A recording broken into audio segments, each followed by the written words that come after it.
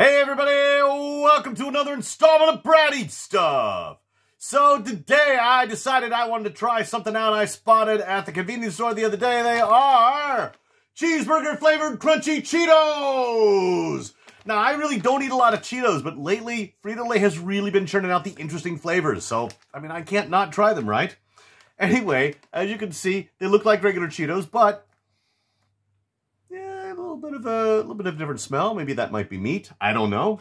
So it's got a nice big one here. Check that out. It's like a regular Cheeto.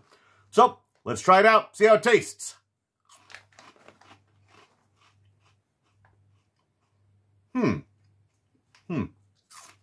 All right, well, it's definitely cheesy, but I don't know if the extra flavor in here is meat or not. Hmm. Doesn't really taste like a cheeseburger, but it definitely doesn't taste like a plain Cheeto. I mean, it's good. I like it. I mean, don't get me wrong here. Let's see. Let's have two more.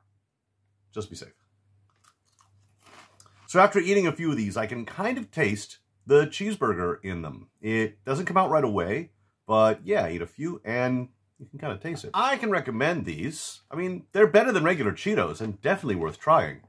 I might get another bag of these myself. It's actually kind of a large bag, so uh, there are a lot in there. But uh, yeah, I might get another can. However, for this bag, I've got pretty much the entire bag left. I'm going to finish them off camera, though not all tonight, of course. Anyway, as always, I appreciate you guys stopping in. and we will see you in the next one.